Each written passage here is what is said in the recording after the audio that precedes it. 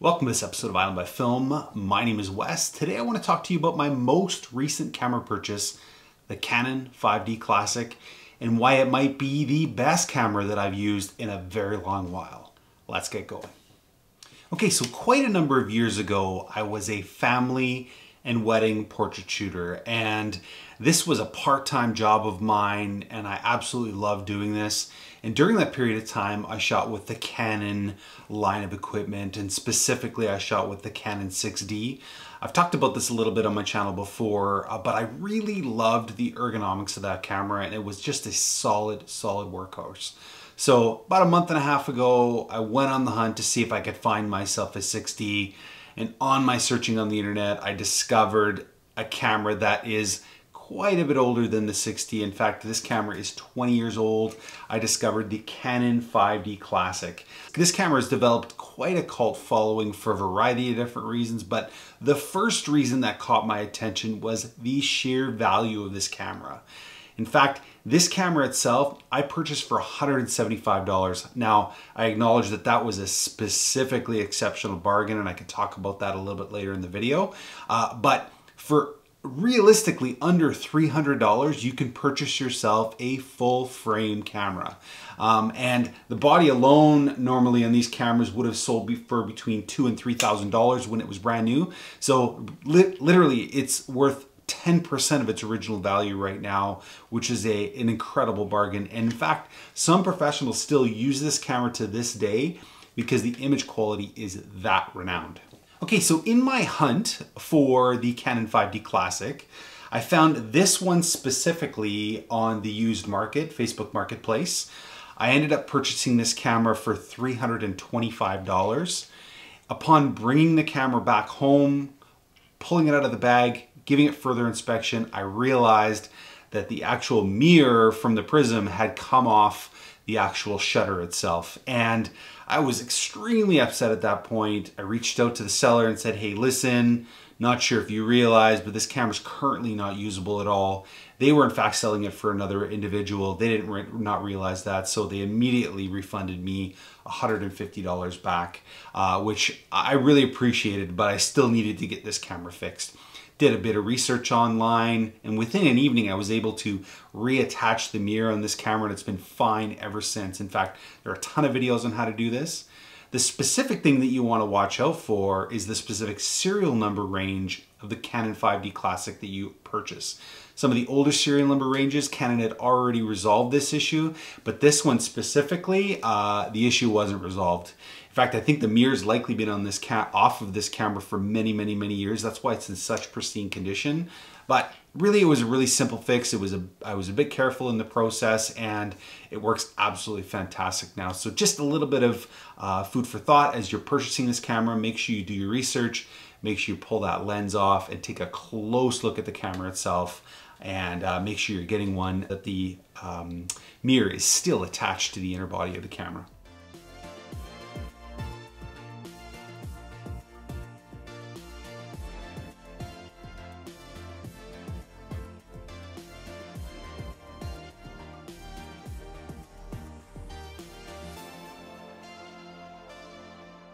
Okay, so let's look at a few reasons why you might want to choose to look at the Canon 5D Classic.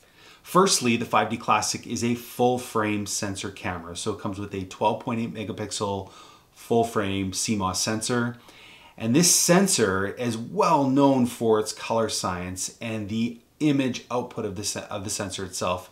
In fact, portrait photographers have often referred to this camera uh, color science as being magical. So great tonality, great depth, and great overall image quality.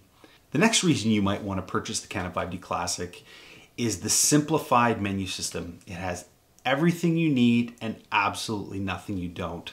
So the ease of operation of this is absolute next level, feels intuitive in the hand and easy to operate.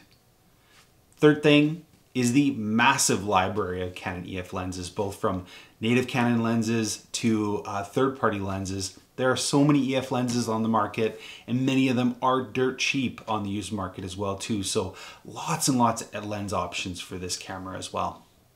And then yet another reason for choosing this camera is its raw image capture. So When you're shooting a raw image on a full frame sensor, you have incredible dynamic range, allowing you to capture a significant amount of data. Even though it's a 12.8 megapixel sensor, the raw image capture on this is actually quite sensational for a 20 year old camera.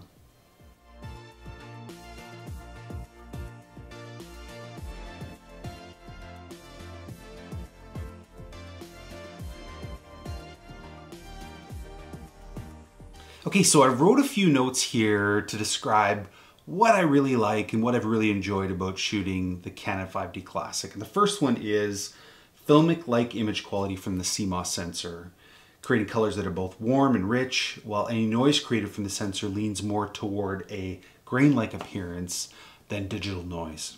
The next thing I liked was the slow methodical process due to the lack of live view and slow autofocus. This enabled me to wander and shoot in a bit of a therapeutic way being less concerned with shooting fast moving subjects and more concerned with shooting static scenes. The next thing I loved about this camera was its tactile, comfortable handling.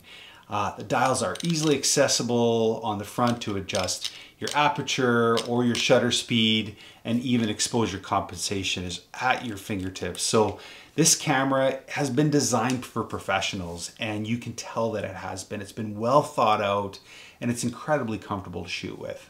Now, often people take a look at modern cameras and they compare them to these 20 year old sensors, and the first thing they talk about is the actual resolution. Now, I'll be the first one to say that resolution can matter in some instances. If you're a professional and you're shooting very, very large format or large print ad work, you're likely going to be shooting with something in that 100 megapixel range.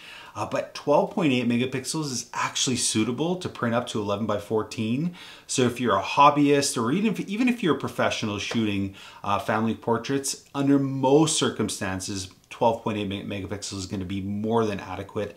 In fact, sharing on the internet, you don't even need near that resolution to do so. So and the really big benefit of that is storage space. The files are minute in comparison to some of the modern files on, uh, on newer mirrorless cameras or even some of the medium format cameras. The 12.8 megapixel files to me I think are, are absolutely perfect. The next thing I love about this system is the batteries. They have an incredibly long lifespan. In fact, I shot an entire weekend on the Canon 5D, probably shot two to 300 images, and I didn't even make it through the first battery. In fact, the batteries are spec to last almost 800 images, which is unbelievable. Okay, so another great reason you might want to choose this camera is the full frame look. Anyone that shot full frame acknowledges the fact that these sensors have a unique ability to separate a subject from its background. And although I do acknowledge that bokeh doesn't equal great imagery, it is a tool that you can have in your tool belt to allow you to draw viewers eye to your subject in a unique way by separating it from the background. And full frame sensors paired with a fast prime lens do this better than any.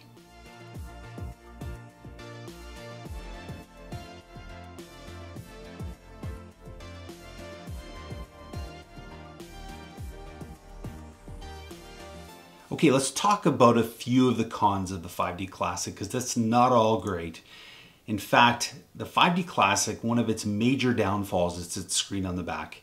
No live view. I know I talked about the pros of not having a live view slowing you down, but not having a live view that is accurate and you can use on a regular basis to actually compose and set your exposure is a bit of a downfall. Additionally as well, when you do take an image with this, the screen on the back of the camera does not give an accurate representation of your exposure.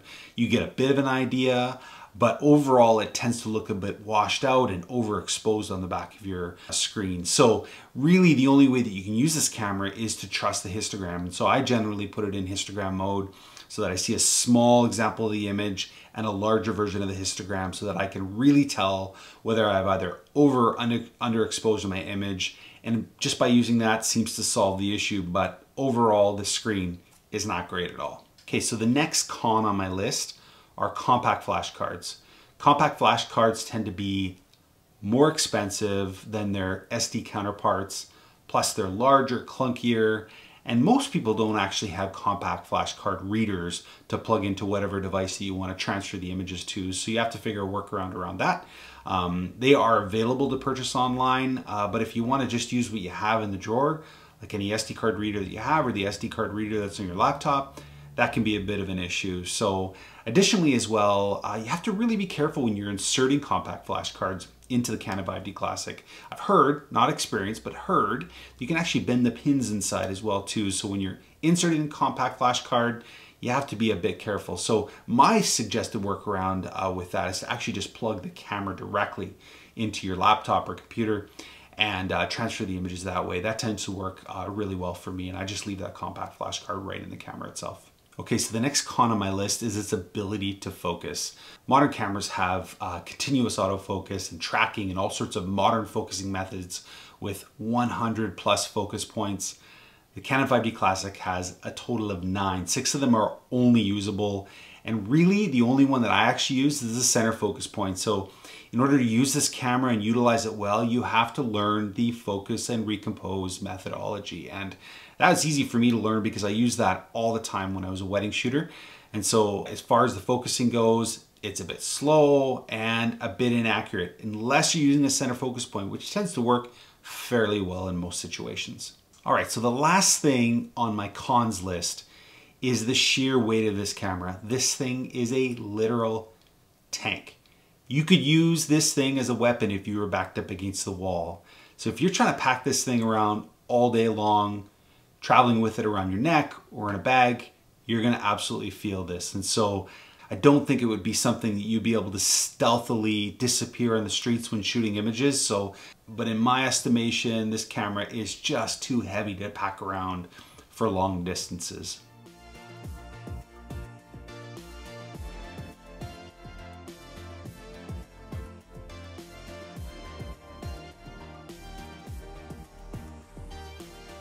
Okay, so in weighing out some of the options, the pros and the cons of the Canon 5D Classic, the value is still undeniable. For under $300, you can purchase yourself a full frame camera body. And that's absolutely incredible. So if you're looking for something to add to your camera collection, something that you're gonna take out occasionally and shoot, or even shoot every day, you won't go wrong with the Canon 5D Classic. The image quality out of this sensor has absolutely blown me away. As you've seen in some of the samples I've shown you, the colors are rich and they're warm and it almost looks to me a little bit like Portra film, which is pretty exciting to me. And so all of my images I edited in Lightroom and all I did to any of them was take the raw image, add the camera matching landscape profile in Lightroom and adjust the white balance. That is it, that is all, and that's what you get on these images. So absolutely enjoyed shooting this camera while I was in Cannon Beach and um, I hope you enjoyed watching this video. If you do, please give it a thumbs up. Please consider subscribing and leave a comment below. Let me know what you think of this review.